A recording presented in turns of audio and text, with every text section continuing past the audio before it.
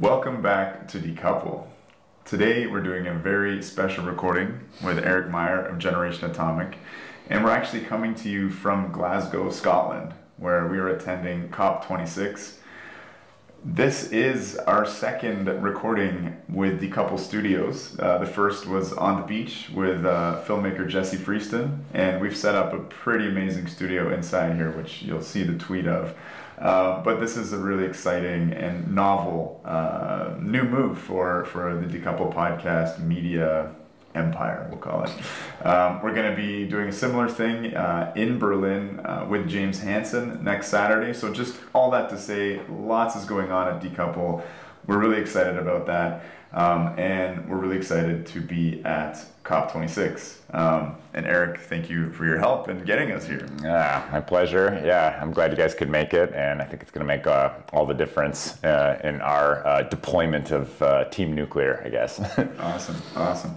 Okay, so Eric, you're pretty well known um, to the, the, listenership of this podcast uh, and to the nuclear advocacy community. So we'll keep it brief, but uh, introduce yourself. Uh, yeah, uh, Eric Meyer, uh, founder and executive director of Generation Atomic.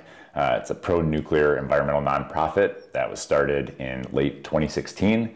Um, this is actually my fifth climate talks now, and I've seen things evolve over time, uh, which I'm sure we'll, we'll get into. But, um, you know, I think, you know, the reason I started Generation Atomic was uh, that I realized there just weren't other organizations that we're, we're focusing on this work um, a lot, on the grassroots uh, organizing for nuclear power. Um, I started with Environmental Progress, and uh, you know Michael has done, uh, Shellenberger has done uh, amazing work, kind of developing arguments for the technology, find, finding really good data, putting out there in a consumable way.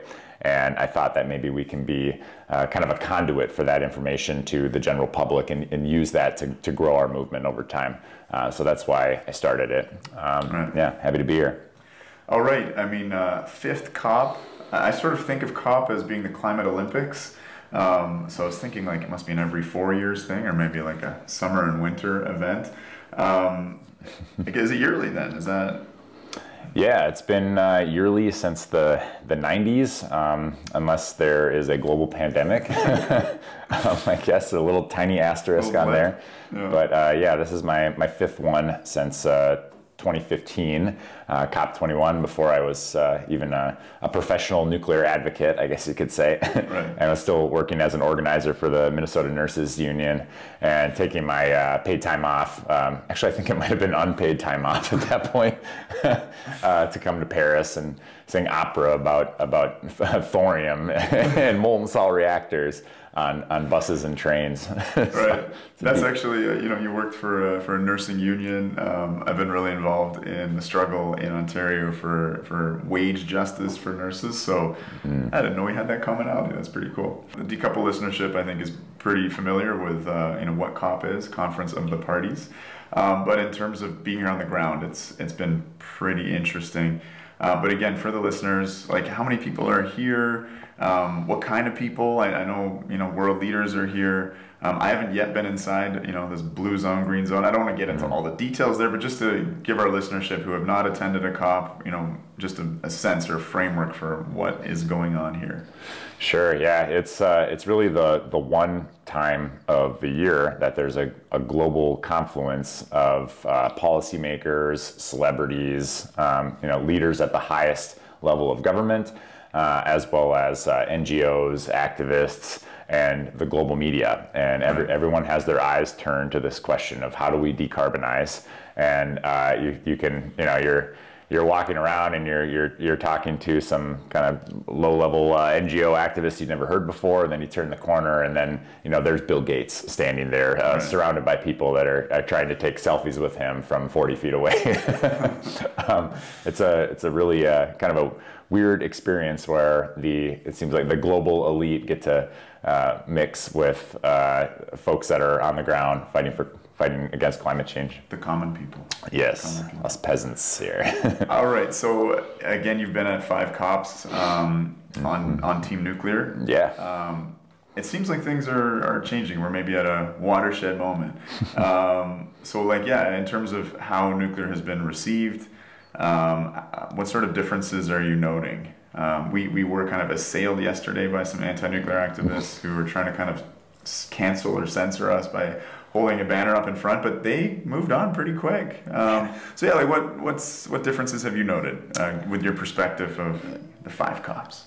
You know, uh, over the last six years, I've I've seen us go from uh, either um, almost no mention at all, um, or or being a, a taboo uh, subject uh, to discuss, uh, which of course you remember COP.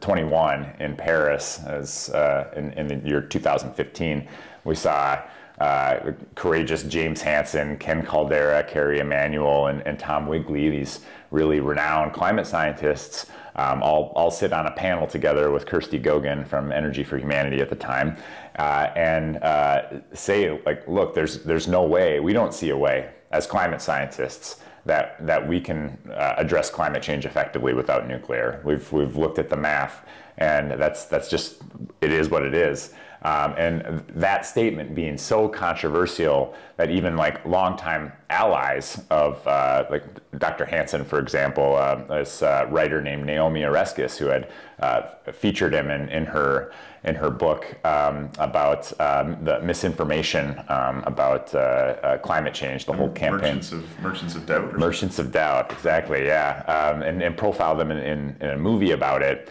Um, then when, when James came out and said, "Hey, uh, we need to uh, we need nuclear as part of this," all of a sudden uh, she decided that he was a science denier.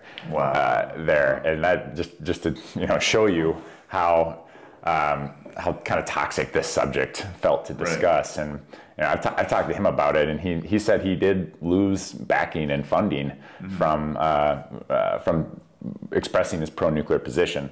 Um, so, you know, fast forward a year later, we're in uh, Marrakesh, and there's literally five of us there that are trying to make the case for nuclear. Um, and uh, and the Russian government is the other. right, right.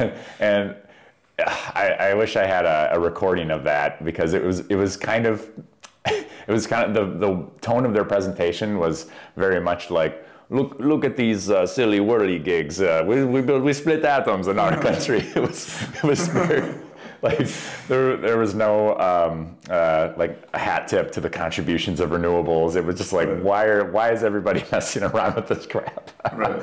it's pretty funny. Um, in COP23, uh, we were uh, left out um, uh, from the Sustainable Investment Forum, which is one of the highest profile side events where uh, the kind of climate finance is, is discussed and um, developed. And the World Nuclear Association had tried to put a $60,000 uh, down payment down on uh, uh, to get a speaker during one of the sessions and get their logo up amongst the you know many others like BP and Shell and Exxon and all these wow. other oil companies that were allowed to sponsor this. Wow. Um, but then a couple days later, that information had worked its way up the, the food chain to the very top of the United Nations Environmental Program. And uh, as a result, that uh, sponsorship was rescinded, they were excluded, and there was no discussion of nuclear energy at the Sustainable Finance Taxonomy uh, at COP23 in Bonn, Germany.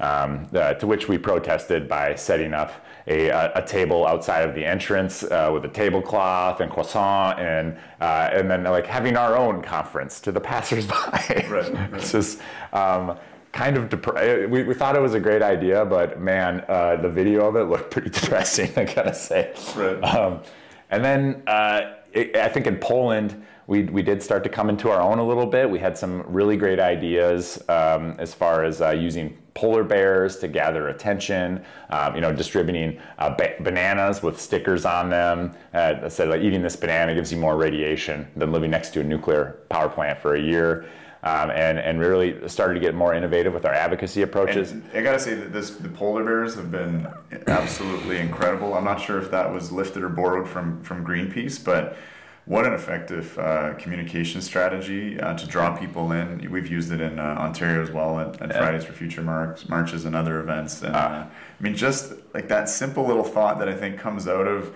the creativeness of um, you know, advocates that are so passionate that they'll come here just, you know, on a volunteer basis that will, I mean, use their vacation time right? Yeah, yeah. To come and do this, Yeah. like fuck it, 16 hours a day, right? Yeah. And you know, um, sometimes have to like take time away from their children. One of one of uh, our delegates here, um, it was the longest time she'd ever spent away from her three-year-old, and I'm getting a little teary because I think it's uh, kind of the same for me. I've got a three-year-old at home, so.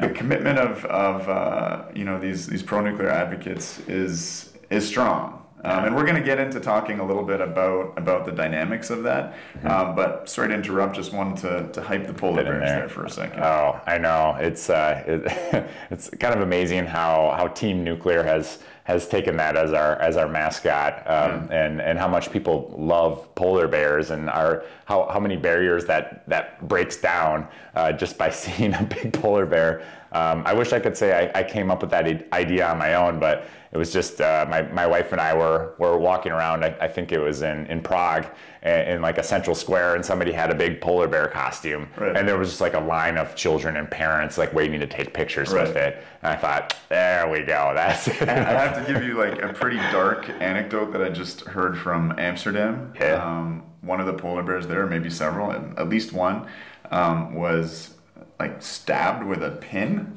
by anti-nuclear activists.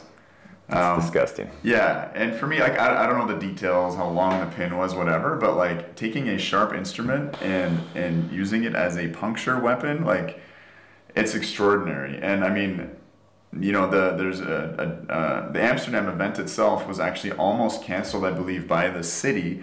Um, because of fear of anti-nuclear violence against pro-nuclear advocates, um, so, you know, freedom of speech should be stifled and the city and its police forces won't do its job. And indeed, here at COP, um, you know, at the Fridays for Future March and at the large march, uh, both times I had uh, police coming up to us and saying, listen, if you are assaulted, if you are threatened by anti nuclear activists, please pack up your stuff and go.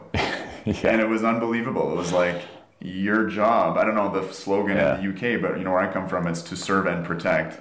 And it's, it's just been kind of unbelievable. And I understand uh, in talking with Adam Blazowski, we had a great interview many episodes back now. Um, he was saying that, uh, yeah, German anti nuclear activists on Polish soil uh, were able to force um, the Polish pro nuclear delegation out. So, It's true. ha- have we changed? Like, has there been a, a watershed moment um, where the anti-nuclear forces have not been able to sort of maintain that hegemony and that uh, of the discourse and that ability to, to block or, for lack of a better word, cancel uh, pro-nuclear advocates? Are you seeing a, a, a sea change um, at, at, at COP in Glasgow? It it feels like it. Um, I mean, just on, on a basic level, we were allowed to participate in the marches this year. Right, right. Where in, in Poland, we were there for, I don't know, 15, 20 minutes before the organizers of the march, uh, along with uh, the German anti nuclear folks, uh, persuaded the, the police and security to ask us to leave. Um, You know, forcibly, not, not just as a suggestion. Right. and we had to we had to stand across the street from the rest of the rally of you know uh, maybe 10 20,000 people there just doing our thing on the other side of the street it, it's frustrating and, and just ridiculous on its face when you realize that uh, nuclear energy is the largest source of uh, clean electricity in North America and Europe. Uh, to have it not even represented at a climate march uh, makes the whole thing seem farcical. Right. Um, But yeah, we were allowed to participate. I got to say, we you know we were both there. We saw most of that march. The anti-nuclear presence was diminutive. Trivial. Uh, it was yeah m- maybe people? yeah right yeah five five people. I would say maybe ten. Um, and not that we had a, a massive contingent, but I think you know between us, uh, all of us, there were, we're probably in the, the 20s or 30s up there. Um, and uh, yeah, and, and the ones that I talked to, the younger anti-nuclear folks, uh, they were not as strong in their convictions. Right. Um, and indeed, you could you could see that the uh, the older folks in the movement were maybe a bit nervous about me Right. me speaking with them, and you know by, by how they were be- behaving, coming up and and just like yelling repeatedly, "This man is nuclear propaganda! This is nuclear propaganda! Nuclear prop!" Like just Yeah. kind of like almost a, a, a cult like um, just repetition of, of words. I have a great story that I heard from uh, one of our uh, allies. Um, in the Fridays for Future march, the the smallest woman in our delegation was.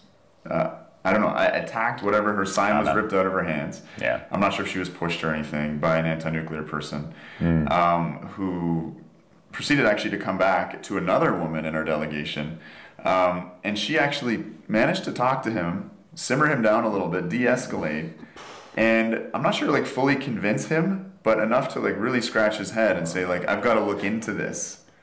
Which is like that's uh, Thea from from Finland. Yeah. Uh, hats off. Um, really incredible. Um, you know, so so I mean, I think that starts to show, right? And and when you start really having the evidence, the strong evidence, the incontrovertible evidence, especially here in the EU, that anti-nuclear activists are in fact pro-fossil fuel activists, um, mm-hmm. due to like look Belgium, they're going to shut down uh, their whole nuclear fleet, 50% of their electricity, the vast majority of their clean electricity, and it's being replaced by gas by a green uh, minister of energy, right? So mm. I think, yeah, the cracks are, are forming. And for me, just the fact that we're breaking through mm. is already a victory. It's a huge victory. Mm. Like there's been such a hegemony on the discourse. Like, you know, be that on the medical side, you know, and I'm, I'm proud to be breaking through that with Doctors for Nuclear Energy, um, be that on the COP side. I mean, there's other examples. Mm. How many people did we see walk by us yesterday that like gave us the thumbs up or a solidarity yeah. fist. Yeah. It was incredible. It was like, you know, every every 30 seconds it felt like somebody's like, oh, nuclear's here? Oh, that's awesome. I yeah. had no idea. That's great. And I think it had to do as well with their messaging, right? And, and you know, there's, there's a lot of um, progressives, kind of lefties in these kind of marches. And we one of our big arguments is that nuclear energy is union energy. Mm-hmm. Um, you know, the high quality people of this podcast don't need to hear me harping on that anymore. but I think that turned heads, and I actually brought a banner that says uh, "Nuclear workers are climate heroes." Yeah. Uh, and the GMB union the General Municipal Boiler Makers, mm-hmm. uh, they held the banner for like half an hour. Yeah. Do you guys want to hold this? So that was that was amazing, and being able to send that image back to my union friends in, in Canada Huge. was was pretty cool. Yeah. Um, all right, Eric. You know, I want to talk about another kind of maybe a somewhat thorny subject because that's certainly you know the allegations of the anti-nuclears is that you know we are mm-hmm. shills. Mm. Um, you know, I run several organizations: Doctors for Nuclear Energy, you know, no industry funding; Canadians for Nuclear Energy, no industry funding. I guess decouple, no industry funding. But like full disclosure, um, Generation Atomic helps us out, right? Decouple um, is growing. We have a, a, large and growing Patreon, um, and we have several non-industry do, uh, donors. Mm-hmm. Um, and you've been instrumental, um, really, in, in helping us as, as or helping me as, as we expand and you know bring on our amazing producer uh, Dylan and bring on uh, Jesse, the the filmmaker who's pulled Decouple studios together here. I mean, it's really exciting for me. Like, this would not be possible, you know, without the generosity of our listeners through Patreon and without the donor. But, like, honestly, not to fluff your feathers too much, like, I'm a medical doctor. I'm super busy. I managed to devote myself to the communication side. I have some strengths there. I'm not an administrator. I can't manage, you know, employees or contractors or anything. And, and you've been instrumental in that. Um, you you do have, I think, a, diver, a diverse kind of funding apparatus, but I want to take on this taboo, which is talking about um, how the pro-nuclear movement is um, is resourced, mm-hmm. Um, and you know, I guess the controversy around that is that a good thing? Is it a bad thing? I mean, I wouldn't be a cop. Yeah. Uh, you know, Decouple Studios would not be a cop like without you, and you have a diverse array of funding. So let's let's get into that a little bit. Sure. Um, yeah, like how, how is Generation Atomic funded, and how do you how do you think about that? Yeah, uh, well, the you know the, the general principle is that we will accept money from anyone who agrees with us and accepts nothing in return than what we're already doing. um, and uh, that over over the years that you know that's meant that we get uh, some uh, contributions from from larger corporations. Uh, that means some smaller corporations um, and uh, in, lots of individual donors. We sell stuff in our store. Um, at the moment um, almost all of our funding comes from uh, individual donors a handful of wealthy folks from, from silicon valley mm-hmm. predominantly and uh, then we get a nice uh, slice of money from the uh, Idaho National Laboratory through the uh, the GAIN program, Gateway to Accelerated Innovation in Nuclear. Um, And all of this isn't uh, people calling me up and saying, Eric, do you want a big check for, you know, because we want you to do X, Y, and Z. It's me and, uh, and you know, our members of our board, key volunteers going around to, to well-resourced uh, organizations or individuals and presenting proposals. Of, hey, we have an idea to do this uh, in, in this country, or we really want to run a campaign on, on X, Y, or Z. Uh, can you can you help make that happen? Mm-hmm. Um, so that's that's one thing that's remained consistent. Um, you know, the idea is that there's there's nuclear astroturf out there. At least that's the assumption of a lot of the people at these conferences. Uh, but uh, I think, frankly, uh, the uh, nuclear public relations, public affairs apparatus it just isn't that talented to even try to organize astroturf. Um, so um, you know, it really does uh, come down to legitimate grassroots activists um, to try to piece things together from different places and, and try to make an impact on the discourse. And I mean, what that looks like is um, housing some people you know, I mean, uh, renting uh, an Airbnb or a hotel in Glasgow is like what nine hundred dollars a month. We're out here far off in the countryside. I think where there's yeah. something much more affordable. Yeah. And we've been a little crammed in like sardines. Uh, you know, uh, yeah. Jesse and I, uh, filmmaker Jesse Freeston and I were uh, sleeping on the floor in one of the living rooms for the last couple days. I do a lot of camping. That's that's yeah. not a problem. Had a whole whole pillow fort out there.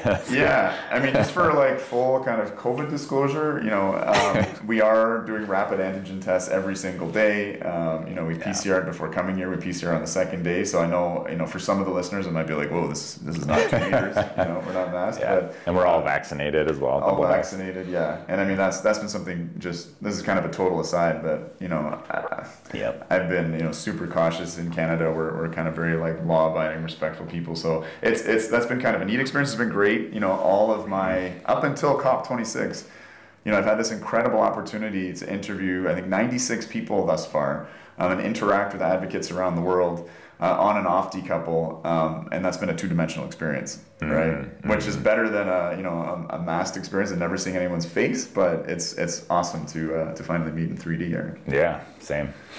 cool. So. Um, you know there there are the the nuclear industry is here. Mm-hmm. Um, presumably they have like professional public relations people, firms that they hire, um, you know, uh, who interact with media, politicians.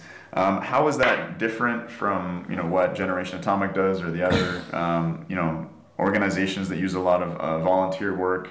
Um, yeah, how, how does that differ? Um, and what's what like pitch us like what's the importance of a group like Generation Atomic here?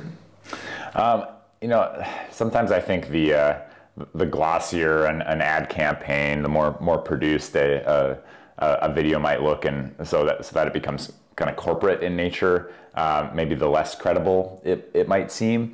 Um, you know, you can clearly tell if you look close on some of the materials we're handing out. Like maybe there's a letter cut off here and there. It's it's clear somebody um, pasted this together in, in Canva or something.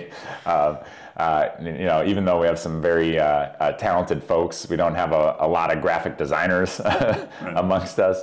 Um, but we do have a lot of uh, engineers and um, technical people, so we can um, like dig into the environmental product declarations and the life cycle analyses, all the latest studies to back up our arguments that nuclear power is the fastest uh, clean energy source to ever be deployed um, in in like a, a larger uh, country. Um, it is uh, it requires the least amount of mining, the least amount of land, and make those comparisons. Like, okay, how much would it take to power Glasgow uh, on wind, solar, nuclear, including mining and transmission, and know with confidence. Uh, these are the, the, actual numbers according to the best available science. Um, so we don't see uh, the, the PR firms mm-hmm. that are being hired by I guess we'll call it big nuclear for lack of a better word, which I put heavy air quotes because really it really isn't that big.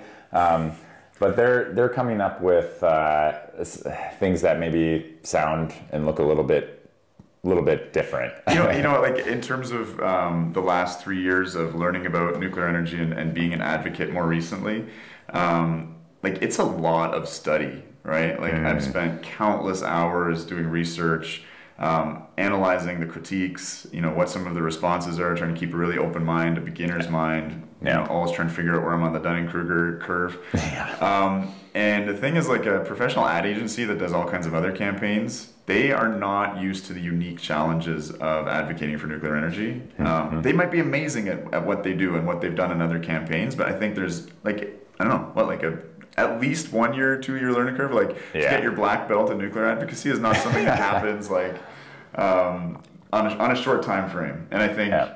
because we're so engaged as volunteers or as passionate advocates in in this discourse, like we're we're kind of uniquely like well equipped um, Right, to right. to engage with that. Yeah. Um, I think that's why you get so many creative ideas um, from the advocacy community. so what what are some of those creative ideas? What's happened so far at COP? All right. There's a flash mob. There, there's a flash mob uh, that Net Zero needs nuclear. Flash mob. Um, so you know, we got some professional dancers to choreograph this this uh, song. Uh, it's a, a parody of the uh, the Bonnie uh, Tyler uh, "We Need a Hero." Um, We need net zero. We need net zero. Okay, there may have been a professional choreographer, but the, the guy who stole the show um, is a nuclear engineer, reactor designer, and Yes. like pretty phenomenal breakdancer. oh my god! So he was he was a volunteer in this whole thing. It was like it's a cool video. If you haven't checked it out, we'll share it in the show notes. It's nuclear physicist that works at Moltex and happens to be an amazing breakdancer. Yeah. Yeah, yeah, definitely, definitely check that out. But that's that's a flash mob. What what else? Yep. Uh, this year, we, we decided a kind of a central um, image uh, uh, for our messaging was going to be a gummy bear. Right. Um, thanks to uh, another uh, activist, uh, Isabel. Boemeke, shout outs. Yeah, shout outs. Um, so uh, they decided that, hey, we need something really visual, something for the media to take video of. So let's let's get a, a three meter high uh, giant gummy bear and have that for like photo ops and everything, and and move it all around the cop in different locations. And um, that's it's so important to have a something visual that the media can can put on their website and and uh, you know kudos to the Young Generation Network for deciding to do that. Um, gummy bear, of course, representative of about the size of a uh, a fuel pellet and uh, the, the massive amount of energy that provides. You know, similar to a ton of coal. Yeah. Um, and Check out Isabel's video. yeah, you'll, you'll for more information. and it, it just worked worked out that uh, we figured out how big the massive three meter tall uh, gummy bear could provide, and we got about about 16 months of electricity for Glasgow um, as a talking of point. three meter tall. Yeah. Wow. Which, I mean, it's a big gummy bear, but Glasgow is also like 1.6 million people. So Right. pretty darn, yeah, that's a lot of power. Yeah, that's pretty nutty. That's pretty Yeah. nutty. So of course, uh, the participation in the demonstrations as well. Um, and you know, I was interviewed by ABC News. Um, we've had interviews with like advocates, right? Uh, CNN, BBC, and even German national television. Yeah. uh, Arun Gadan and Miguel and Um, yeah, t- uh, I forget his last Sorry, name. Miguel. yeah, it's a hyphenated. Right, so- Miguel TL. so like the grassroots and volunteer advocates um, are are you know getting getting attention, getting pretty serious attention. Yeah. Yeah, putting a, a whole new face on on this industry, uh, which uh, you know for for decades has kind of been been seen as a as a bit a bit dusty, uh, Yeah. bunch of bunch of old dudes. yeah, yeah. yeah. Um, okay, so yeah, I mean, one one thing we, we both attended the other day was the, World Nuclear Association. I'm not sure what it was, a mixer. Yeah, networking event or yeah, Yeah. cocktail reception. Yeah, and it was interesting because again, it's these engineers and scientists who perhaps you know constructive feedback. I mean, who have a different different take than like you're Yeah. you're like a musical theater opera singer, right? Like, yeah. you're going to bring different strengths to the table in terms of comms. Um, and it was interesting because there was effusive praise from you know these uh, like engineers, scientists, uh, you know, uh, reactor designers, uh, corporate leaders, etc. Yeah. Uh, effusive praise of you know what the youth were accomplishing this this kind of breakthrough moment. Um, you know, and I actually there was a bit of a frustration though that it was kind of seven people on stage. Um, you know, great speakers, and I think speaking a new language of you know pride in what we do, um, in not being on the back foot in terms of you know what nuclear energy accomplishes, not being apologetic, but a bolder stance. Yeah. Um, you know, and I, I think there was some credit given to the fact that it's like it's the young generation, it's, it's Generation Atomic, it's Stand Up for Nuclear, it's this grassroots volunteer activism that is, is leading to that moment. Yeah. Um, but not invited onto the stage per se. And, and it was something I, I did talk to the Secretary General of the World Nuclear Association and said like constructive feedback, like bring somebody up here, you know? Yeah. Um, so in terms of, we talk a lot about like energy returned and energy invested. Um, you were mentioning, um, you know, some of the funding that you get. You know, it's interesting to look at um, the funding of other in, uh, other advocacy organizations um, or and organizations here. So, um, you know, one thing I was looking at recently is the National Resource Defense Council, um, instrumental in the closure of Indian Point, um, and the, the Environmental Defense Fund uh, combined annual budget. This is not their assets and everything, but what they can spend each year is three hundred and forty-eight million dollars a year. Um, uh, NRDC got another hundred million from Jeff Bezos. Um, Sierra Club took twenty-five million from uh, natural gas company. Um, World in- Wildlife Fund, 100 million from Bezos as well. Right, so we're talking like enormous money. Um, you were involved in the campaign to save Byron and Dresden. Yeah. And it's like, to me, this is like a David and Goliath thing. But just for full disclosure, like, what is your annual operating budget? How does it compare to those numbers? Uh, it's it's kind of right in that like 200 to 300 thousand dollar range. Um, yeah, there've been years when it's a little more, years when it's a, a little less. Um, but yeah, kind of right in there. And obviously, I'd, I'd love for that to triple or quadruple so we could hire more full time staff because a lot of times it's you know it's it's been just me full time, and then if I have a project here or there, I, I kind of hire contractors temporarily for a while. And um, but yeah, it's it's hard to build a, a long-term institution that can continually grow when you're on a small budget because you're, you're constantly being pulled with well do i try to go raise more money so i can build a bigger team or do i ad- address this uh, this fire that's happening right now with like the potential closure of, of byron and dresden and try Right. to put out fires here and there oh god nuclear is not going to be included in the sustainable finance taxonomy Right. i guess i won't talk to my donors for the next four months while I, while I work on doing everything I can with the volunteers that we have to address that. Right. Uh, so it's a, it's a constant tension, and I'm hoping that uh, you know after the climate talks, um, kind of we uh, were able to take a little bit of a, a victory lap on, on 2021 and um, have a really strong fundraising season, set us up for success next year. Right. Yeah, but yeah, it, it is a David and Goliath, as, as you said, and without uh, vol- like hundreds of volunteer hours, um, we I don't think that Byron and Dresden would have been saved. Passed by one vote, yeah, right? One vote. I Yeah. mean, that, that Yeah. proves the point. on the right? last possible day of the extended extra session that wasn't supposed to happen. Yeah, and uh, with all all kinds of concessions that aren't really that great, but um, at least the nuclear plants uh, had a stay of execution. Right, right. So, not a, not one full time staff position exclusively devoted to the, the largest climate uh, conference in the world. No. Um, your your um, attention is split between saving Byron and Dresden, working on the EU green taxonomy, Yeah. uh, and yeah, I mean we're in the same uh, housing right now, and, and like I see you running around, going to bed at like four in the morning, getting up at seven, So- and I see a lot of people like that, like Arun as well, like Yeah. I don't know. You must you must use some eye makeup or something because like I don't know how the guy does it. These people have not slept, uh, but it, it gets No. a really it's a really important moment. Yeah. Um. All right. Um, yeah, I mean, I just I just think this like conversation around um, you know the revolution will not be funded kind of thing. Um, I mean, it wasn't televised, but there is actually a really good book um, called "The Revolution Will Not Be Funded." But um, you know, like alle- allegations fly when you stand up for nuclear that you are a shill. I can't count the number of times I've been called a shill. Actually, it's probably not that many because I really do think the anti-nuclear movement is is fading.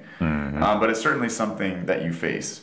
Um, again, uh, you know, my organizations are, are, you know, like squeaky clean, but it's, it's strange, like, it's strange, like having to really like make a big point of that. And there is this thing about being, um, you know, a, a Puritan or being pragmatic, right? Um, and there's certainly a danger to, um, you know, if, you know, one of my organizations, Canadians for Nuclear Energy, we have uh, $1,800 in our bank account. I, I accidentally put 1100 in because of some PayPal fuck up. You know, so total goddamn shoestring. Um, but what we've accomplished, like this House of Commons petition, a, a really strongly worded pro-nuclear petition right on the floor of the House, uh, an open letter with retired political figures from across our political spectrum, James Hansen, you know, leading engineers, climate scientists, etc. I mean, I'm blank on what we've done. Um, you know, open letters to the media, holding stand up for nuclear events across the country, mm-hmm. uh, building a national level organization. Yeah. Right? That's been on a shoestring. Now, it's interesting because I'm, I'm, you know, as much as it's kind of tempting to try and find funding for this, um, I'm really happy not to be uh, have anything to do with that because I see ways mm-hmm. in which um, sometimes the, the nuclear industry or establishment um, has a really sort of like this is the company line. Do right. not stray from it. We're all on the same page right? Yeah. And in canada you know our organization uh, finds itself kind of bizarrely enough um, not on the same page um, and, and, a thorn in the side of, of much of the nuclear establishment. Um, and you know there's organizations like young generation and, and, women in nuclear who i find are constrained in terms of what they can say. That being said um, we were hosted by the CNA. Mm-hmm. Uh, we were hosted by women's women in nuclear. So, mm-hmm. you know, but anyway, I'm just trying to, you know, I think emphasize um, the the importance of that independence. Um, and in terms of, um, you know, like our relationship and what you've done uh, for decouple, like it has a different vibe. Like that's a disclosure yeah. I have to make, right? Like you get yeah. funding from industry. Um, you know, you help with payroll. You help with things that mm-hmm. I just can't do and make happen. Um, like, what, what do you think about this? Um, again, Puritan versus pragmatics. Like ultimately, like I think we're in it to win it, mm-hmm. um, and there's some kind of a balancing act that needs to happen. Yeah. I mean, in, in Illinois, uh, for example, uh, you know, we, we, were campaigning there for, for two years, um, and you know, towards the beginning of that, uh, we approached Exelon and we're like, "Hey, we want to do everything we can to help save these nuclear plants. Can you help?" Mm-hmm. And through our sister organization, GAMMA, uh, which stands for Generation Atomic Movement Mobilizing Alliance, um, uh, we, we can take a little bit of money there and, uh, and then pay canvassers with it to go to different uh, college campuses and you know make the argument, gather petition signatures, hold events.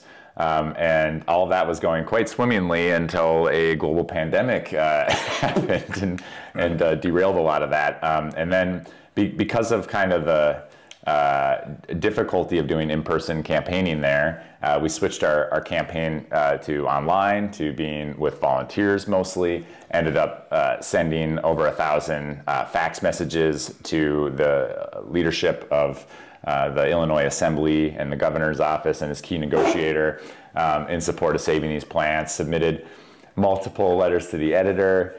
Uh, and and had uh, you know a, a, dozen or so uh, meetings with uh, elected officials and their staff about this. Um, uh, not to mention all the phone banking and calling um, all the members we through our analysis had had found to be persuadable and not have a, a, currently known position on saving the nuclear plants. And we got so many of them to commit to, okay, you got it right. If they're if the bill won't will not save the nuclear plants, I will not support it. And we got that commitment from several people who were uh, pretty wishy-washy before, and um, I don't think that. Uh, that would have been as persuasive if it was like, okay, here, here comes the, the lobbyist from Exelon or whatever. But instead, it's like, here comes Alyssa Hayes, uh, from, who grew up. Uh, she's like a, a, you know a, PhD student um, who grew up in Illinois near Zion nuclear power plant, which was shut down early, and and you know that that started off a just an economic disaster uh, for that area, where housing values cratered, taxes went up, uh, class sizes ballooned as teachers were were laid off, and it just the, as the town just got kind of hollowed out on the inside from its from its uh, very best employer. Um, so she can speak authentically. She didn't get a dime to do any of that advocacy, spent hundreds of hours on it, and had a, a story of how it personally affected her. That's, that packs so much more of a punch than uh, somebody who's uh, paid, paid to be there saying something they were paid to say. Um, but I don't know. I mean, the so the you know the accusation is going to be there, mm-hmm. but looking around, uh, everybody at this COP who's here on, on Team Nuclear, I can say uh, maybe for sure under the age of 50, yeah. um, is here because they really believe in this. Um, they they see it as an absolute imperative for uh, the future of, of our species, and they see that they have a role to play in, in uh, bringing nuclear a stronger voice and getting it into the into the energy mix in a big way. Okay, this is maybe a rhetorical question. I don't, I don't read. I don't know okay. to pitch it to you, right? But all right. Um, you know, in terms of the the genuineness, um, you know, the goodwill, the purity of, of the messages of, of volunteers, mm-hmm. um, do you think that would be affected, cheapened, they'd be less authentic if, for instance, you know, our our I, call, I want to call her like our sister, just because uh, you know we've, we've been living together for a few days, and, and uh, our ally, however we want to put it, um, if you know, she had a stipend to pay for the child care for her child while she was away. Mm. If she had, you know, her travel covered. Um, you know, if there was a full-time paid cop organizer, um, would that again? This is totally rhetorical. Yeah. softball, but would that yeah. like would that make Astrid less of a um, like would that affect her? Would that compromise her? Like, Absolutely not. Yeah, and I found myself kind of answering that question with a few anti-nuclear people yesterday in the march, where I'm like, would you prefer that these young nuclear engineers, uh, you know, uh, for, forego paying their student loans for a couple months in order to come here? Like, these are young professionals here. They, this is a huge sacrifice for them personally uh, to take time off of work, and uh, you know, having having a hotel room paid for is is not exactly like persuasive money to forego all of your your morals and ethics. like, right. they're not that cheap of dates, you know. Um, yeah. But yeah, no, it, it wouldn't. And there needs to be a lot more support for passionate grassroots advocates uh, coming to the COP, coming to all sorts of uh, conferences, events worldwide in the broader clean energy community. Because I think the shill thing is like like anti-nuclear people are like genuinely puzzled about why it is we feel the way we do. And I, I was trying to think like what would stir me to do the crazy things they're doing? To stab a fucking polar bear um, to just drown try and drown people out to you know um, censor like free speech. And i'm like the only circumstance i can see in, of myself is like if there were neo-nazis um, protesting in my city. Like i mm-hmm. might take some of those same measures. Like maybe those tactics are by definition not i don't think they are they're not uh, condemnable under all situations but maybe that's how they interpret us right yeah and so and i think that's what really has dispelled things like and i want you to share like your most potent personal anecdote in terms of um, dealing with a skeptic mm-hmm. you know mm. for me the other day it was just like talking with this, uh, you know, fairly elderly woman, um, you know, and she's just like, why are you doing what you're doing? Who's paying you? And, you know, I held up my medical badge and I'm like, Medicare, you know, in my country is like, that's who I, that's how I earn my living.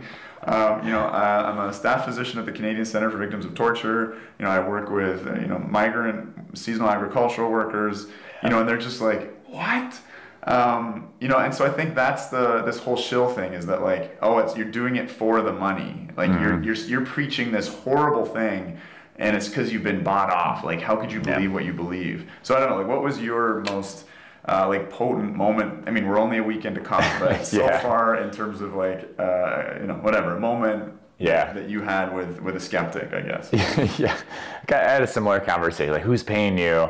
And I uh, I just started uh, sharing name. I was like, well, there's Carl, and then there's Ross, and yeah. you know, have you heard of this company? Well, so and so was an early employee, and uh, now they want to help save the world, so they uh, help pay for me to be here right now. Mm-hmm. but you know, honestly, uh, if I could afford to do it for free, I I would anyway. Yeah, um, yeah it's it's it's tough because people I, I, get why they think that. Mm-hmm. um, and and there certainly have been um, instances of astroturf um, in the past. Uh, most recently I think for a natural gas plant in Louisiana is the mm-hmm. Um, one I've, I've heard of most recently. But I, I, get why they're skeptical. But obviously we're, we're just here because we care and mm-hmm. we're ready to fight.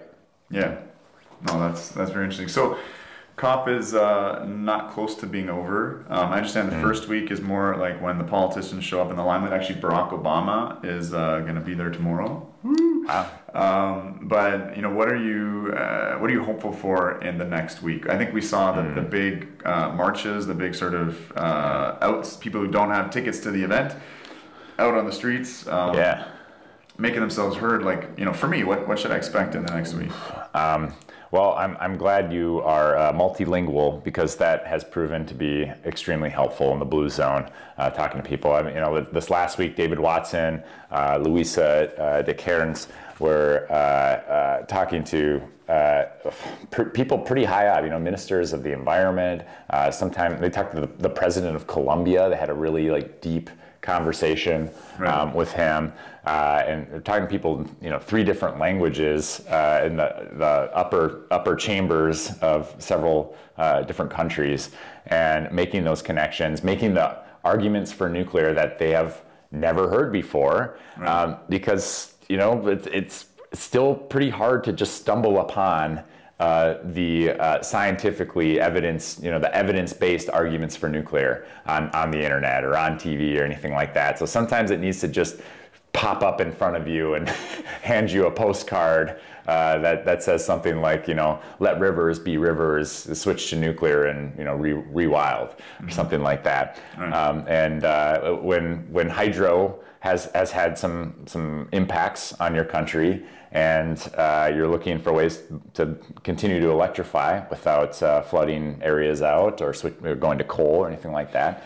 then if you haven't heard an argument for nuclear, it's pretty powerful. So those conversations continue to happen. I'm hoping we continue to reach out to other NGOs. Um, we had a networking event uh, last week on Tuesday that had, it was about maybe 30% nuclear people who organized it mm-hmm. and uh, like 70% uh, people from random NGOs, and we just had this uh, beautiful little uh, open mic segment at the end of it where I just threw the question out. Um, I was like, all right, everybody, uh, open mic time. You can uh, have two suggested questions here. Uh, talk about something you're proud of that you've worked on with your, your organization or you, you are working on uh, actively.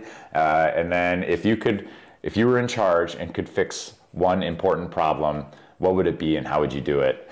And we just got these like heartfelt speeches from people all over the world who had been you know, working on um, various issues uh, connected to climate change.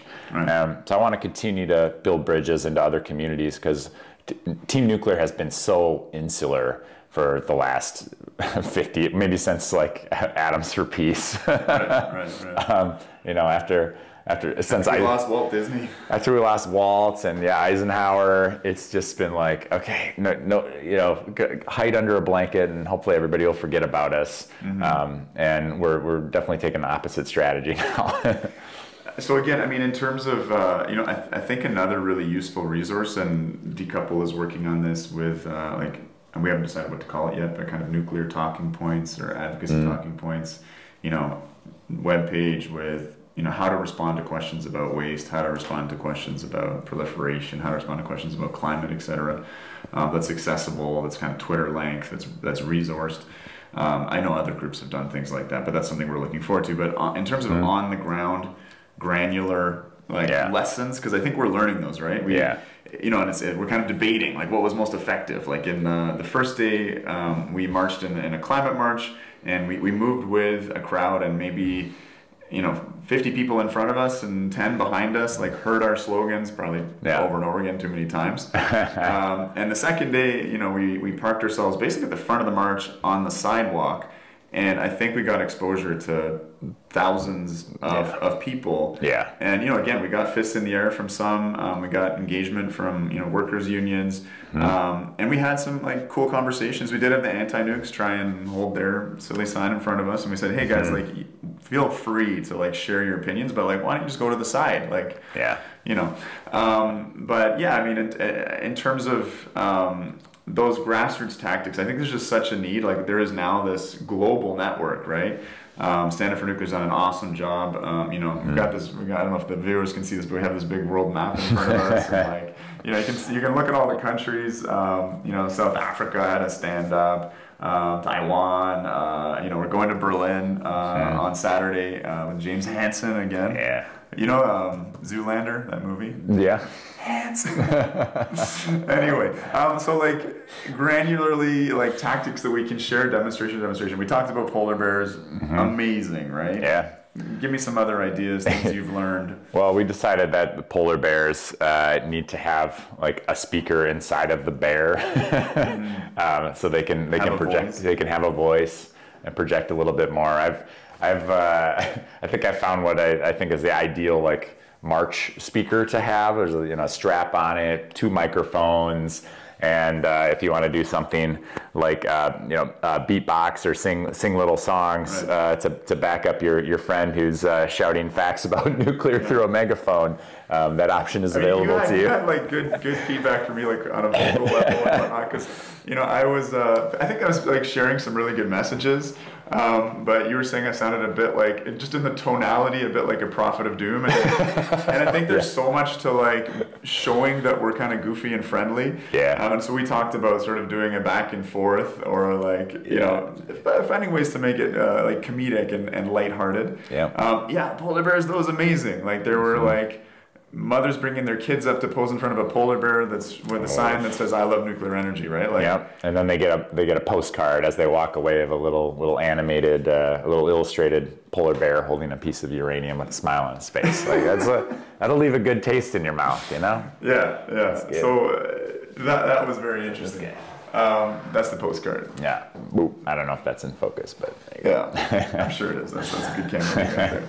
All right, Eric. Um, I uh, I'm away from my son, and I have the chance to have a phone call as uh, like a FaceTime with him. I don't want to Nah. miss, but we do have like a couple more kind of closing minutes. Mm-hmm. Um, I'm just gonna you know pass the mic over to any kind of last words, anything you wanna you wanna share. Mm-hmm. Um, Yeah. You know, I, am so proud of nuclear advocates this year. They've stepped up in so many different ways in so many different countries.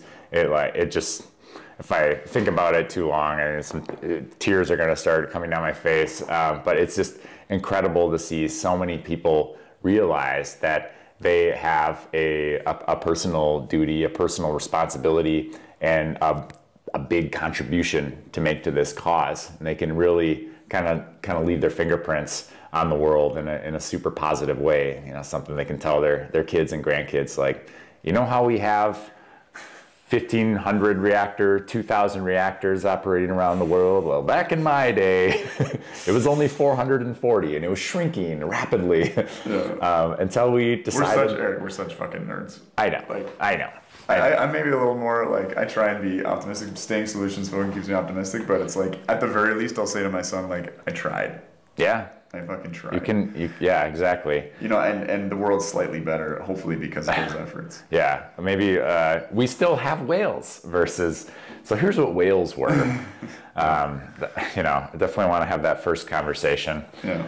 Uh, yeah, but I mean, between um, influencing the sustainable finance tax on, I mean, we uh, with with all of our allies, I think there are uh, almost 20 pro-nuclear uh, local organizations uh, throughout Europe now uh, that uh, would help translate this letter to members of the European Commission uh, and then distribute it to their followers. And within a week, we had sent five over 5,000 letters to the European Commission in support of nuclear energy. It's never happened before. Right. And you could see, I think it was just the, the following week or, or something like that, there was a news article that came out, and uh, it was like, yeah, we're going to probably include nuclear in the second delegated act. And Yeah. of course, of course, Germany and, and Luxembourg and Austria had feelings about this. Yeah, Um, yeah. But it does look really good right now that uh, at least uh, uh, nuclear will be uh, included um, alongside gas. Uh, so, um, so it's a it's a good it's a, a good start we can build on.